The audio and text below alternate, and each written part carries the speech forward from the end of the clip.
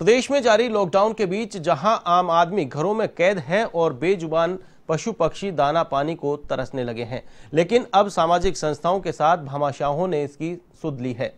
बीकानेर में खाजूवाला के 30 केवाईडी गाँव में श्री वीर तेजाजी सेवा समिति की ओर से पशुधन के लिए हरे चारे और पानी की व्यवस्था की गई है। साथ ही संस्था के रामेश्वर लाल गोदारा ने बताया कि अब रोज़ाना पशुओं के लिए चारे व पानी की व्यवस्था करने की बात कही है ताकि पशुओं को किसी तरह की कोई परेशानी ना हो।